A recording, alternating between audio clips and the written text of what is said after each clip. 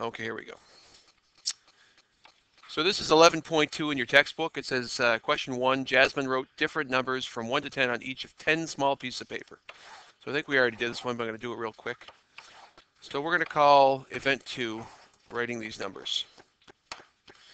Okay, so when your table is complete, you have this. And the question says, uh, how many, or sorry, the total number of possible outcomes. Well, based on our table, our sample space is in here, and we have 20 different possible outcomes. If we did a tree diagram, so if we did a tree diagram, we'd actually do kind of like tree exploding bushes instead of, uh, or, or bush diagrams instead of tree diagrams. It would look like this. And at the end of each branch, we could say this branch here represents T3 and so on and so forth. There would be 20 outcomes with that.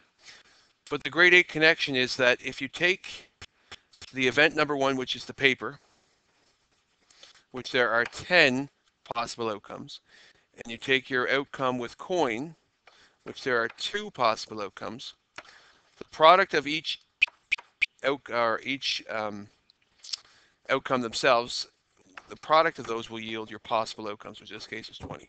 So the real connection that we're having here, you know, if you want to calculate how many possible outcomes there are, simply multiply uh, the number of possible outcomes for each event and multiply them together, you get your number of total possible outcomes. For question five, it says a coin is flipped and a six-sided dice is rolled. I think we changed this one to a four, didn't we? Did we? Okay. So a coin is flipped and a four-sided dice is rolled and a marble is randomly selected from a bag. Because there are three events, one, two, and three, the only thing we can use is a tree diagram to organize these outcomes. So if you do your tree diagram, if you do a tree diagram, you have something that looks like this, which is pretty chaotic. Uh, but if you look at the end of each branch, and if I took a highlighter, uh, for example, this branch right here from heads with my first, four with my second, and a yellow, that would be one possible outcome for what could happen if you did those three events. And if I look at all the branches and I put a check mark at the end, I have 1, 2, 3, 4, 5, 6, 7, 8, 9, 10, 11, 12. 12 here, 12 here. So I have a total of 24 possible outcomes from those events. So the answer for B is 24. Instead of doing it with a tree diagram, event 1, which was the coin, has two possible outcomes. Uh, the die has four possible numbers that can be rolled. And the marble has three. The product of all three events, 2 times 4 is 8, 8 times 3 is 24. So the total possible outcomes is 24. Remember, the top number means favorable outcomes. So what I'm looking for, we're not looking for a specific event. And our bottom number is our possible outcomes, and that's all we have to really use to find how many total possible outcomes there are. Question seven says Tony has four different pairs of pants and six different shirts. How many shirt pair combinations can he make? Now, some of you, when I looked at your diagrams or looked at your answers, some of you actually went and did uh, pants one, pants two, pants three, and pants four, and actually made like a one of these. It was only six, isn't it? I would say that would be the worst choice to do. If I was doing something because there's only two, I would probably do this. I do um, pant one, pant two, pant three, and pant four. And if you want to get creative, you can make them blue jeans and khakis or whatever. And up here, you could have shirt one, shirt two, shirt three, shirt four, shirt five, and shirt six. And if I examine this, I can see clearly that there are um, 24 possible combinations of shirts, pants. This one here would be wearing the shirt number five with pants number three. This one over here would be pants number four with shirt number two. The easier way to do it is simply take shirt, which are six possible outcomes, the pants, which are four, and multiply them to get 24 possible outcomes, 24 possible combinations, excuse me. Any questions on that so far? Good. Question 11. Make up a question that would give the following number of possible outcomes. Would anyone like to share their creative story that deals with 2, 4, and 5? Anybody? Any brave soul? Nobody? Okay, I'll make up my own. Uh, if there were two boys, two boys, and four girls, and five chaperones, and they were going on a date, how many different combinations could there be? Well, there could be, in total,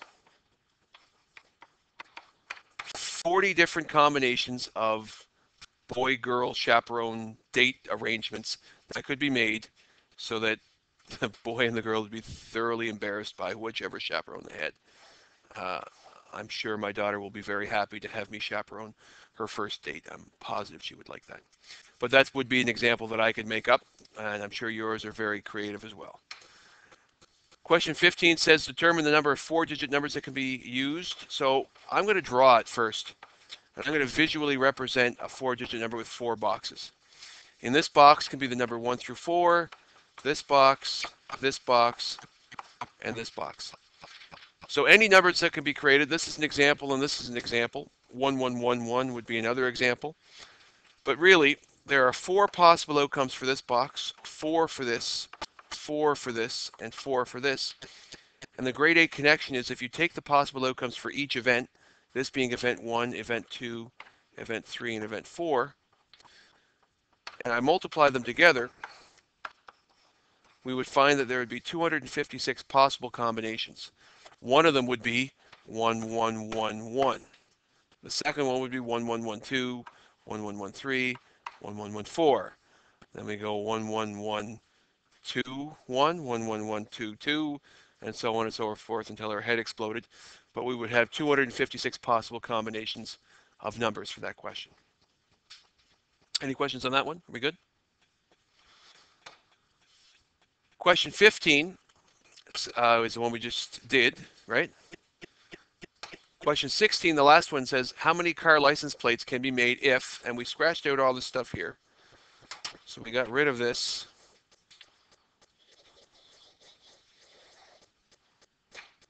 And we changed it to uh, an island license plate. So for an island license plate, you have Anne of Green Gables with her pigtails and her little hat with the little thing on it and her dress with the, I don't know, you know, just hands or something, I don't know. And you have a letter and a letter, and a number, and a number, and a number. So the question really is how many different types of license plates can there be in PEI? And one of the things we found out by calling up the uh, Access PEI today is there are no letter O's in the letter combinations because they look like zeros. So for the first letter, there are 25 different letters that can go in that first space. There are 25 different letters that can go in the second space. Since the numbers 0 through 9 can be used here, there are 10 different numbers that can be used in that space, 10 different numbers in the second space, and 10 different numbers in the, in the third space. And really, to get the number of combinations, the grade 8 connection is you can multiply all of those together to figure out how many combinations you could make.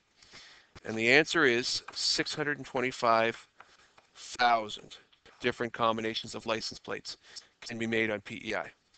Right, and that's just by having two letters and three numbers. And on PEI, I think the number of registered motor, well, the number of people that live on the island is 130,000. So I'm pretty sure every man, woman, and child doesn't have five cars. So with that combination of letters and numbers, we will probably be guaranteed never to have repeat license plates on PEI. All right, if you have any more questions, let me know. We can go over other questions if you need help.